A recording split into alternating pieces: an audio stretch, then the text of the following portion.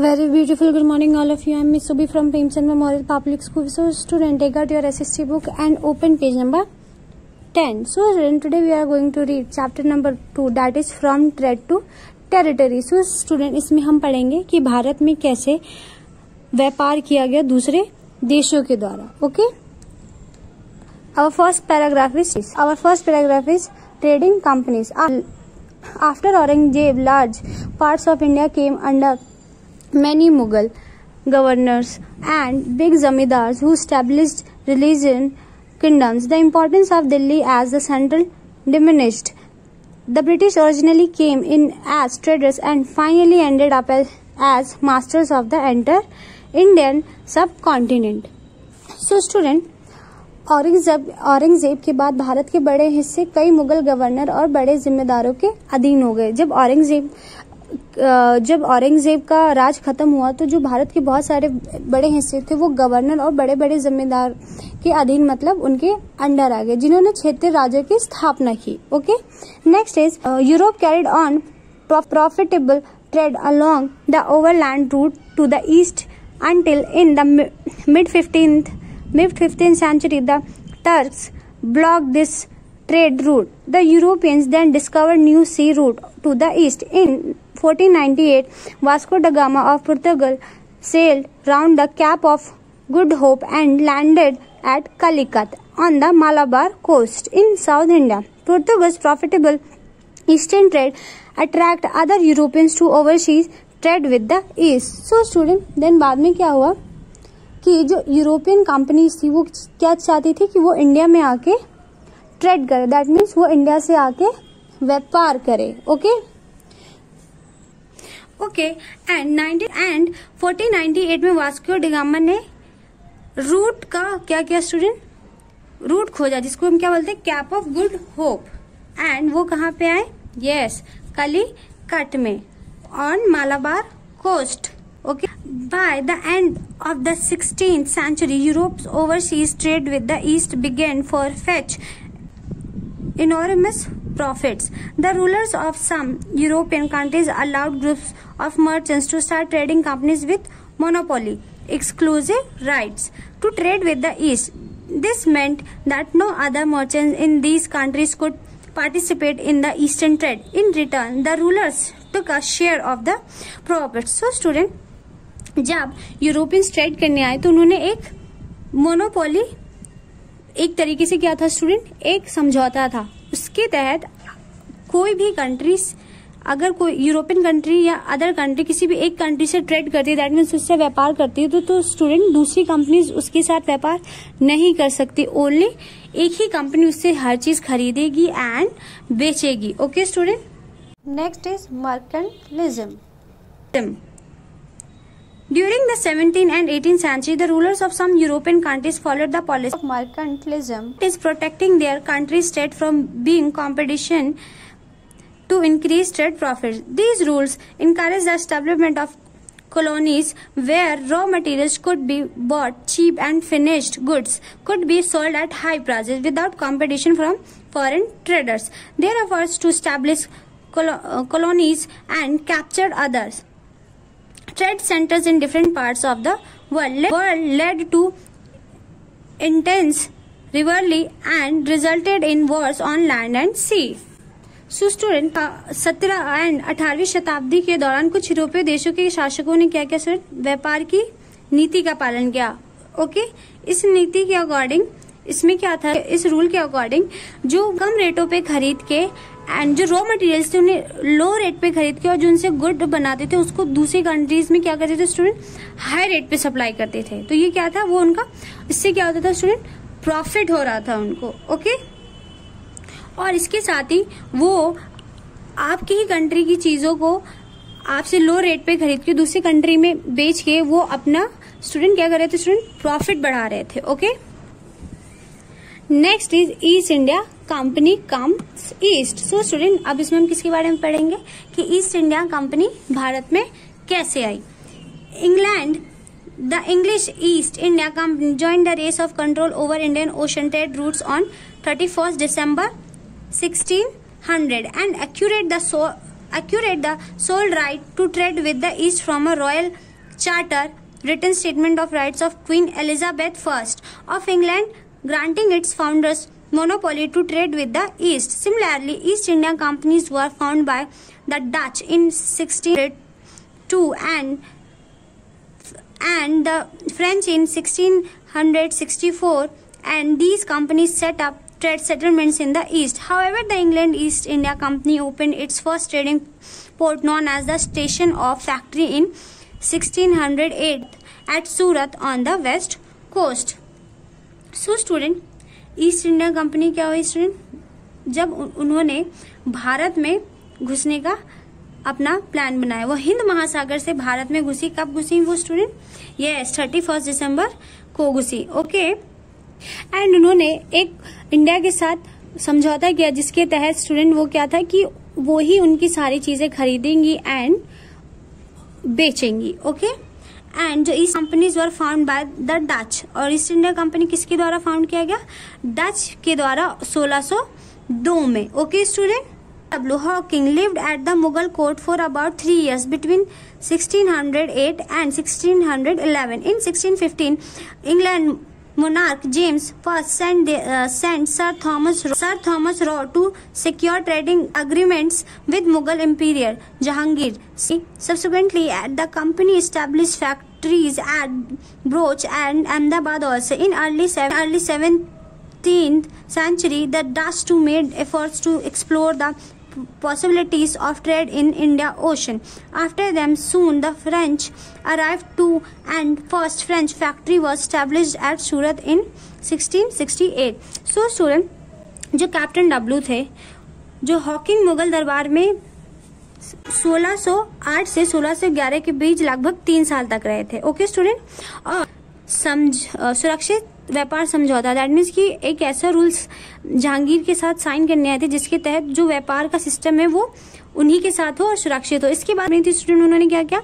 बाद में अलग अलग जगह अपने कारखाने स्थापित किए ओके उनके बाद जल्द ही फ्रांसीसी भी आ गए। और स्टूडेंट क्या हुआ कि ईस्ट इंडिया कंपनी भारत में आई तो उनको स्टूडेंट इंडिया से व्यापार करना चाहते थे ओके जल्द ही फ्रांसीसी भी आ गए और सोलह में जो सूरत में उन्होंने अपना पहला कारखाना स्थापित किया। किसने?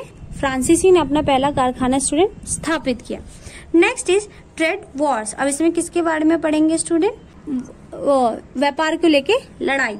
Soon they started an era of competition India was famous for its highly quality cotton and silk spices cardamom and pepper clove and cinnamon too were in great demand across Europe Europe mercantile trading companies from many European nations begins to arrive. So, student, India क्या था? अपने बहुत सारी cotton and silk और spices के लिए जाना जाता था। और सो स्टूडेंट इससे क्या हुआ? जो अदर कंट्रीज़ के लोग थे, वो इससे बहुत ही ज़्यादा प्रभावित हुए। एंड देन उन्होंने क्या किया स्टूडेंट इंडिया में आने का फैसला किया जिससे कि वो व्यापार कर सके और यहाँ के कच्चे मालों का रॉ मटेरियल्स का फ़ायदा उठा सके। The character from the Queen of England could not prevent not prevent traders from other European countries to venture into India. As a result, the Dutch of the Netherlands, the Dan Danish of Denmark also came to India around the same period. They established their trading centers in different parts of the country. This resulted in more buyers of India goods and as a and a rise in price. A higher price meant a thinner profit margin. So student जो England की रानी ने charter और अन्य यूरोपीय देशों के साथ व्यापार करने के लिए जो नियम बनाया था, उसके तहत वो यूरोप के दूसरी कंपनियों को भारत में आने से नहीं रोक सकती थी। नतीजन क्या हुआ स्टूडेंट? जो नीदरलैंड के डच थे और फ्रांसीसी डेनमार्क के थे, उन्होंने भी भारत में आए और उन्होंने क्या किया स्टूडेंट? विभिन्न हिस्सों में व्यापार किया, ओके? और भारत के सामानों के लिए अब क्या हुआ स्टूडेंट? बहुत सारे खरीदार हो गए और खरीदार हुआ तो स्टूडेंट क्या हुआ? बहुत सारे कीम बहुत सारे सामानों की कीमत हाई हो गई। अधिक कीमत का मतलब था, क्या था स्टूडेंट पतले मुनाफे का मार्जिन सो स्टूडेंट जो भी इस चीज़ को जो भी इंडियंस गुड्स को खरीदने के लिए ज़्यादा कीमत देता था वो उनके पास चला जाता था। गुड्स उसको दे दिया जाता था। And then student the Portuguese who came even before the British shut up their base at Calicut Cochin and Goa. While the Dutch established themselves at Surat, Bharuch and Agra, the Dutch formed their East India Company soon after the English. In 1602 the, and established the, uh, their first trade center or factory at Machilipatnam. However, the strongest uh, strongest rival to the English East Indian Company were the French traders so student then क्या हुआ जो Portuguese थे student वो जो अंग्रेज़ों से भी पहले भारत में आए थे उन्होंने भी कोचिन और गोवा में क्या किया स्टूडेंट अपना कंपनी की स्थापना की। जबकि डच ने सूरत, भरोच और आगरा में उन्होंने अपनी कंपनी की स्थापना की। 1602 में स्टूडेंट डचों ने अंग्रेज़ की तुरंत बाद अपनी ईस्ट इंडियन कंपनी का क्या क्या स्टूडेंट निर्माण किया और अपना पहला ट्रेड सेंटर कारखाना कहाँ खोला? मुसलीपट्टनम में। कहाँ खोला स्टूडेंट मुसली मुसलीपट्टनम में।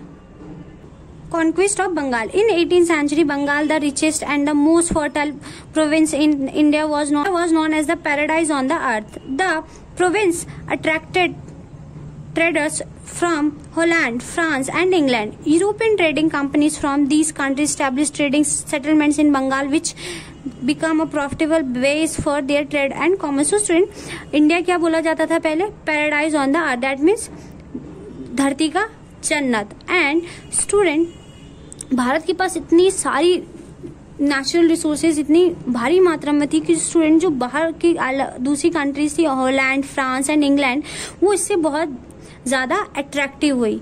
और उससे क्या हुआ स्टूडेंट कि वो चाहते थे कि वो यहाँ आए और व्यापार करें ओके और अपनी कंपनी सेट करें। The longest and the most prosperous of these European settlements was the British settlement in uh, British settlement at Calcutta. In 1717, the Mughal Emperor Aurangzeb issued a farman permitting the company to trade duty free in return for an annual payment, but the company's servant misused this right. The English East India Company set up first factory in Bengal on bank of the river Hooghly in 1651 as trade expanded. Company persuaded traders to settle near the factory. By 1696, it began building a fort around the settlement. Two years later, it bribed Mughal official to give Zamindar the rights over three villages, which later developed into the city of Kolkata. One of the three villages was Kalikata. So student then फिर क्या हुआ? Farming company को वार्षिक जो सो student then Aurangzeb ने एक rule निकाला जिसके अकॉर्डिंग जो फ़ार्मिंग कंपनी है, वो वार्षिक भुगतान के बदले में जो व्यापार है उसे मुक्त करने की अनुमति देता है। दैट मीन जो व्यापार है उस पर कोई टैक्स नहीं लगेगा। लेकिन कंपनी के जो नौकर थे, उन्होंने इसका अधिकार का क्या किया स्टूडेंट गलत यूज़ किया ओके okay?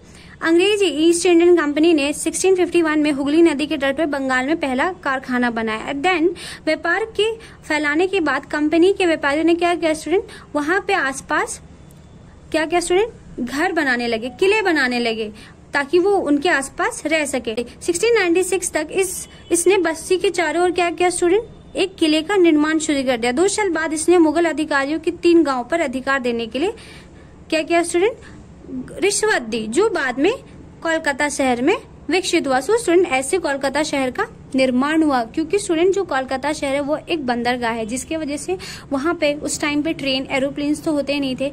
तो जो शिप होती थी, उनको ले जाना और ले आना बहुत आसान था। इसलिए जो दूसरी ईस्ट इंडिया कंपनीज़ के लोग थे, वो क्या चाहते थे कि वो यहीं बस जाए, ताकि उनका व्यापार क्या स्टूडेंट बहुत अच्छे से हो। ओके एंड देन इसीलिए उन्होंने वहाँ पे क्या किया स्टूडेंट रहना शुरू कर दिया। Okay? Thus, Kalikata was later called Calcutta and now Kolkata. The farman issued by Aurangzeb meant that right to trade duty free for the company only, but company official carried private trade and refused to pay duty. Murshid Kuli Khan Murshid Kuli Khan, the Nawab of Bengal, protested. The conflict increased. After the death of Aurangzeb, the Bengal Nawabs asserted, followed by Ali Wardi Khan, who ruled over Bengal and Odisha efficiently from 1740 to 1756. In 1756, Alwardi Khan died and Sirajud Daular, the son of his youngest daughter, became the Nawab of Bengal. Sirajud Daular drove the English out of Calcutta for ex- expending fortifications against his orders and misusing trading rights. But Robert Clive soon took the charge of the company's force in Bengal and restored the company earlier position and trade privileges by treacherous means. He acquired so much wealth in India that he was tried in his own country on corruption charge. So student, so student, जो औरंगज़ेब द्वारा जो rule निकाला गया था केवल company के लिए जो था वो सिर्फ़ वो जो सालाना टैक्स थे वो फ्री कर दिया था लेकिन कंपनी के अधिकारियों ने जो क्या किया स्टूडेंट निजी व्यापार किया और किया। बंगाल के नवाब मुर्शिद कु खान ने विरोध किया। देन क्या हुआ स्टूडेंट जो बंगाल के नवाब थे मुर्शिद उन्होंने क्या किया स्टूडेंट इसका विरोध किया कि ये गलत था ओके लंदन में लिडन हॉल स्ट्रीट पर ईस्ट इंडिया कंपनी के मालिकाना हक का टकराव बढ़ा। औरंगज़ेब की मृत्यु के बाद क्या हुआ? बंगाल के नवाबों ने अपनी शक्ति और पावर का दावा किया। मुर्शिद कुली खान ने बंगाल और उड़ीसा पे क्या किया था स्टूडेंट कुशलतापूर्वक दैट मीन्स उन्होंने बंगाल और उड़ीसा पर अपना शासन किया। अलवर्दी खान की मृत्यु जब हो गई स्टूडेंट जो सिराजुद्दौला थे, उनकी जो सबसे छोटी बेटी के बेटा बंगाल के नवाब बन गए। जो सिराजुद्दौला था क्या स्टूडेंट वो बाद में बंगाल के नवाब बने। ओके एंड देन स्टूडेंट जो रॉबर्ट क्लाइव थे, उन्होंने इंडिया से इतना पैसा कमा लिया था, जो जिसकी वजह स्टूडेंट क्या हुआ, उनके मन में, वो स्टूडेंट लालच आ गया और वो चाहते थे कि वो और पैसे कमाए और इंडिया को पूरी तरीके से लूट ले एक तरीके से। Okay student and then student जो सिराजुद्दौला थे, उन्होंने क्या किया कि वो जो किलाबंदी करे थे, जैसा कि मैंने बताया आपको कि वो वहाँ पे बसने लग गए थे तो वो उसके सपोर्ट में नहीं थे। ओके स्टूडेंट सिराजुद्दौला उसके सपोर्ट में नहीं थे, उन्होंने क्या किया?